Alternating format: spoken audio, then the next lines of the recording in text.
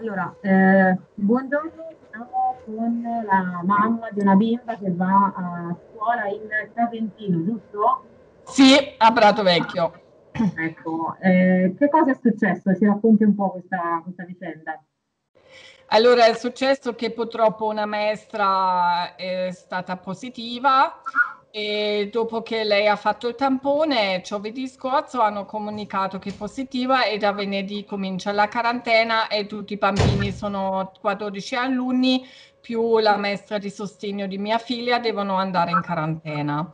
E ehm, poi hanno lunedì chiamato per il tampone alle 11 di mattina e hanno detto che mandano anche il eh, foglio della quarantena, quando comincia la quarantena, quando finisce la quarantena. A nessuno è arrivato questa email, per cui non sappiamo né quando comincia la quarantena, né quando finisce la quarantena. Lunedì alle 11 siamo andati tutti a fare il tampone, frane una bambina che non hanno la macchina e loro hanno fatto il tampone a casa. E fino a ieri eh, non è arrivato il risultato. E abbiamo provato ieri a capire cosa è successo. Dopo che abbiamo fatto un po' di casino, stamattina ufficialmente hanno comunicato che sono persi questi 13 tamponi proprio di nostra classe. Gli altri sembra che, perché non siamo stati solo noi in fila a Bibiena, gli altri sono arrivati e sono anche rifertati e sembra che mancano solo questi di nostra classe e nessuno lo capisce perché.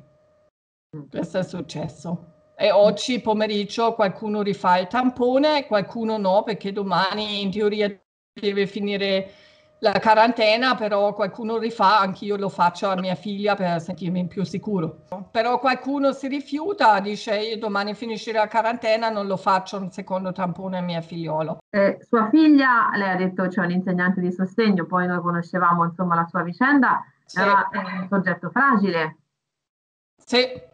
Ecco, sì. quindi lei si auspicherebbe che comunque i genitori facessero questo tampone, ma non c'è nessuno che li può obbligare, questo sta dicendo. No, no. E se succede già due giorni prima che dicevano già ieri la verità, si potevano anche costringere dicendo che non è finita la quarantena, ma quel caso che domani finisce non possono fare niente. Possono decidere i genitori di fare o no. Eh, non posso fare niente mi devo fidare che non succede niente. E poi non capisco come possano sparire 13 tamponi e non capisco se sarà sparito 50, ma proprio questi qui non, non lo so. Non so cosa pensare.